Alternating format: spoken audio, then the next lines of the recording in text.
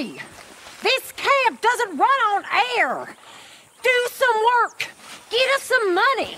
Find us some food! We may not be about to freeze to death, but at this rate, we will starve!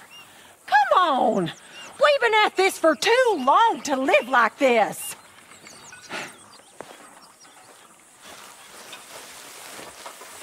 Well said, Miss Grimshaw.